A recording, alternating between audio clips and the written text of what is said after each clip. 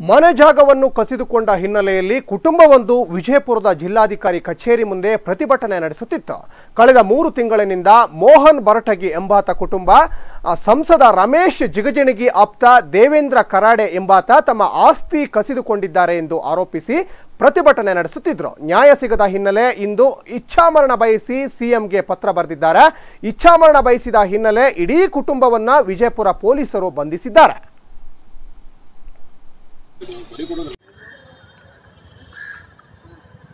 ಹ್ಞೂ ಆಯ್ತು ಸಾಯಂಕಾಲ ಹೋಗ್ತೀನಿ ನಾನು. ಅದು ಊರ್ರಿ ಅದು ಮೊದಲದು ಸ್ವಂತ ಈಗ ನಿಮ್ದು ನಿಮ್ದು ಇದು ಅಲ್ರಿ ಇದು? ಇದು ಇದು ಅಲ್ರಿ ಇದು ಊರ್ರಿ ರೀ. ಇದು ಊರಿನ ಜಾಗಿರಿ ಇದು ಪೂರ್ಣ ಕಂಪ್ಲೀಟ್ ಏನ್ ಬರ್ದಾರಿ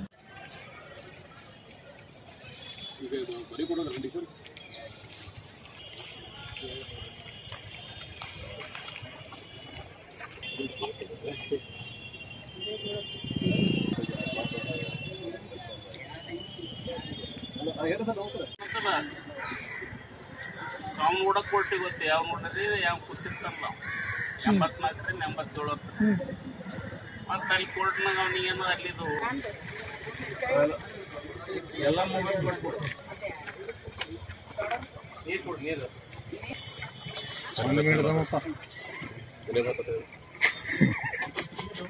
ಮೊಬೈಲ್ ಸ್ವಲ್ಪ ಪಿಚ್ಚಲ್ಲಿ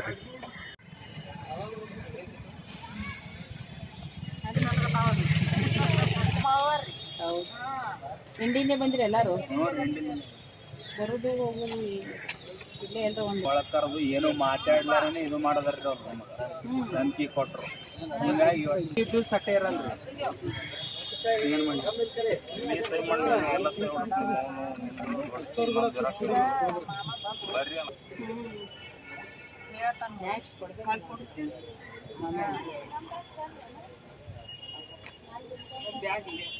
ಸೈ ಅವ್ನು ಕೇಸ್ ಆದ್ಕೊಳ್ಳಿ ಅವನಿಗೆ ನಮ್ಗೆ ಹದಿನೈದು ಫಿಕ್ಸ್ ಆಗ್ತಾವಲ್ರಿ. ಮುಂದೆ ಇಲ್ಲಿಂದ ಎಂಬತ್ನಾಲ್ಕರಾಗ ಅವನ ಜಾಗನಾಗ ಒಬ್ಬ ತೊಗೊಂಡವ ಅವನ ಕಡೆದಿಂದ ತೊಗೊಂಡವ ಒಬ್ಬ ಮತ್ತೊಬ್ರಿಗೆ ಮಾರ್ತಾನ್ರಿ. ನಮ್ಮ ತಮ್ಮಗೆ ಹಾಕ್ಬಿಡ್ತಾನ ಮತ್ತೊಬ್ರಿಗೆ ಮಾರ್ತಾನ. ಹಾಕ್ಬಿಟ್ಕೊಳ್ಳಿ ಅವ್ನು ಉತ್ತಾರಿ ಹೋಯ್ತಲ್ಲ ಅಲ್ಲಿ. ಮತ್ತೊಬ್ರಿಗೆ ಮಾರ್ತಾನ ಶೀಟ್ ಮಾಡಿ ಉತ್ತಾರಿ ಮಾಡ್ಕೊತಾನ. ನಮ್ದು ಸಿಟಿ ಸರ್ವಿಸ್ ಆಗಿರ್ತದ ಗೌರ್ಮೆಂಟ್ ಜಾಗ ಆ ಉತ್ತರ ನಮಗೆ ಬರ್ತಿರ್ತ ಅದು ಅವ್ ಮಾಡಿದ್ ಗುರ್ತಾಗಲ್ಲ.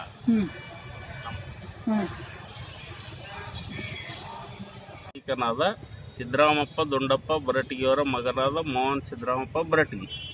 ನಮ್ಮ ಜಾಗೆ ಸರ್ಕಾರದಿಂದ ನಮ್ಮಪ್ಪರಿಗೆ ಮಾಜಿ ಸೈನಿಕ ಅಂತ ಜಾಗೆ ಮಂಜೂರಿಸಿದ್ದಾರೆ. ಆ ಜಾಗೆಯಲ್ಲಿ ನಾವು ಕಟ್ಟಡ ಕಟ್ಟಿಕೊಂಡು ಅರವತ್ತೆಪ್ಪತ್ತು ವರ್ಷದಿಂದ ನಾವು ಅಲ್ಲಿ ವಾಸವಾಗಿದ್ದೇವೆ.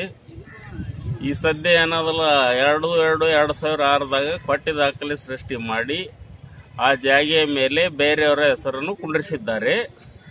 ಆಮೇಲೆ ಆ ಜಾಗದ ಮಾ, ಈ ಹೆಸರು ಕುಂಡ್ರಿಸಿದಂಥ ಜಾಗೆಯ ವ್ಯಕ್ತಿಯ ಕೂಡ ನಾವು ಕೋರ್ಟ್ ಕೇಸ್ ಆಡಿದ್ದೇವೆ. ಆ ಕೋರ್ಟ್ದಲ್ಲಿ ನ್ಯಾಯಾಲಯ, ನ್ಯಾಯಾಲಯದ ಆದೇಶದ ಪ್ರಕಾರ ನಮಗೆ ಸೇರಿದ.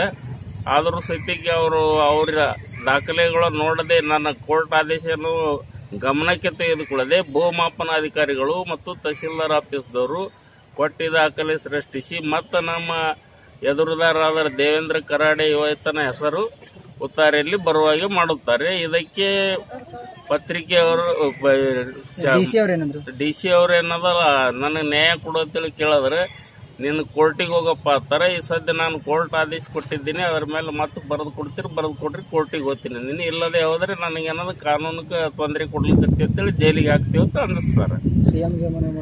ಸಿ ಎಮ್ಗೆ ನಾವು ಈಗಾಗಲೇ ಮನವಿ ಮಾಡ್ಕೊಂಡಿದ್ವಿ ಅವ್ರ ಪತ್ರಕ್ಕೂ ಬೆಲೆ ಕೊಟ್ಟಿಲ್ಲ. ಹಾಂ ರೀ.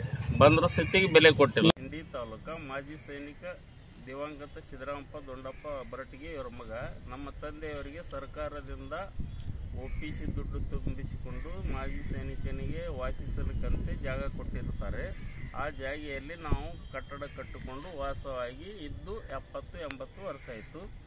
ಆ ಜಾಗದ ಮೇಲೆ ಬೇರೊಬ್ಬರು ಪಟ್ಟಿ ದಾಖಲೆಯನ್ನು ಸೃಷ್ಟಿಸಿಕೊಂಡಿದ್ದಾರೆ. ಆ ಸೃಷ್ಟಿಸಿಕೊಂಡವರು ಕೂಡ ನಾವು ಕೋರ್ಟ್ ಆಡಿದ್ದೀವಿ. ಅದಕ್ಕಿಂತ ಮೊದಲಿನ ಮಾಲಕನು ಕೂಡ ಕೋರ್ಟ್ ಆಡಿದ್ದೀವಿ. ನಮ್ಮ ಹದ್ದ ಬಸ್ತ ಮಾಡಿಕೊಟ್ಟರು ಸತ್ಯಕ್ಕೆ ಹದ್ದ ಬಸ್ತಿ ಮೇಲೆ ಏನದಲ್ಲ ಒಳ್ಳೆ ಬಂದು ಇವ್ರು ಏನೋ ಹೊಸ ಸೀಟ್ ಮಾಡಿಕೊಂಡು ನಮಗೆ ವಿನಾಕಾರಣ ಏನದಲ್ಲ ನಮ್ಮ ಜಾಗ ಎತ್ತಿ ಹಾಕುವಂಥ ಸಂತ ನಡೆಸ್ಯಾರ. ಇದಕ್ಕೆ ಅನ್ನೋದ ಬ ದೃಶ್ಯ ವಾಹಿನಿಯವರು ಕ್ರಮ ತಗೋಬೇಕು. ಮಾಧ್ಯಮದವರು ಜಿಲ್ಲಾಧಿಕಾರಿಗಳು ಏನದಲ್ಲ ನೀ ಕೋರ್ಟಿಗೆ ಹೋಗೋ ತಳಕಿಂದ ನನಗೆ ಬಂದು ಹೇಳ್ತಾರೆ ರೀ ನಾ ಈ ಕೋರ್ಟ್ ಆರ್ಡರ್ ನಿಮ್ಮ ಮತ್ತೆ ಕೊಟ್ಟಿನಿ. ಅದ್ರ ಮೇಲೆ ಏನು ಮಾಡ್ತೀರಿ ಮಾಡ್ರಿ. ಇಲ್ಲಪ್ಪ ಕೋರ್ಟ್ ಆರ್ಡರ್ ಮೇಲೆ ಮತ್ತೆ ಕೋರ್ಟಿಗೆ ಹೋಗಂದ್ರೆ ಬರೆದು ಕೊಡೋತ್ ಹೇಳೀನಿ ಪೊಲೀಸ್ ಸ್ಟೇಷನ್ ಮತ್ತು ಪೊಲೀಸ್ ಸ್ಟೇಷನ್ಗೆ ನನ್ನ ಮೇಲೆ ಪೊಲೀಸ್ ಸ್ಟೇಷನ್ಗೆ ನೀ ಸತ್ಯಾಗ್ರಹ ಕೈ ಬಿಡಲಿಲ್ಲಪ್ಪ ಅಂದ್ರೆ ನಿನ್ನ ಮೇಲೆ ಕರ್ತವ್ಯಕ್ಕೆ ಅಡ್ಡಿ ಮಾಡ್ಲಿಕ್ಕತ್ತಿ ಅಂತೇಳಿ ಕೇಸ್ ಹಾಕಿ ನೀ ಜೈಲಿಗೆ ಹಾಕ್ತೀನಿ ಅಂತಾರೆ. ಅದಕ್ಕೆ ದಯಮಾಡಿ ಸಿ ಎಂ ಅವ್ರಿಗೆ ನಾವು ಹಿಂಗೆ ನನ್ನ ಜಾಗ್ಯಾನು ಬೇರೆಯವ್ರನ್ನ ಖಾಸಗಿ ಜಾಗ ತಳಕಿಸಿಂದ ನಂದು ಬಡವರು ವಾಸಿಸುವಂಥ ಜಾಗಕ್ಕೆ ಸರ್ಕಾರ ಕೊಟ್ಟಿರೋ ಜಾಗಕ್ಕೆ ಖಾಸಗಿ ಜಾಗ ತಳಕಿಸಿಂದ ಚಾರಿ ಅಕ್ರ ಮತ್ತು ಮನವಿ ಸೀಟ್- ಮಾಡಿರೇನು? ಸೀಟ್ ತಯಾರಿಸ್ಕೊಂಡ್ರೆ ಅದು ರದ್ದು ಮಾಡಬೇಕು ಅಂತ ಬೇಡ್ಕೋತೀನಿ. ಅಲ್ಲ ಸಿ ಎಂ ಅವ್ರಿಗೆ ಮನವಿ ಮಾಡಿದಾಗ ಏನಾಯ್ತು? ಸಿ ಎಂ ಅವ್ರಿಗೆ ಮನವಿ ಮಾಡಿದೀವಿ ಸಿ ಎಂ ಅವ್ರ ಲೆಟರ್ ರೆಸ್ಪಾನ್ಸ್ ಕೊಟ್ಟಿಲ್ಲ ಅವರು. ನಮ್ಗೆ ಅದಕ್ಕೇನು ತಕ್ಕ ಉತ್ತರ ನಮಗೆ ಕೊಟ್ಟಿಲ್ಲ. ಎಷ್ಟು ದಿನ ಆಯ್ತು